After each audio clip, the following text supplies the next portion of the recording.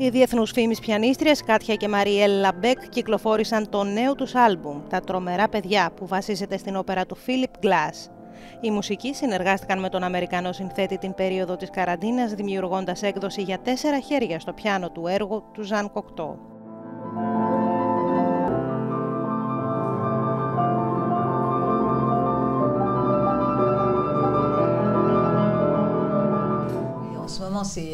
Είναι μια δύσκολη περίοδος, μια περίοδος που νιώθουμε προδομένοι, εγκαταλελειμμένοι, τιμωρημένοι.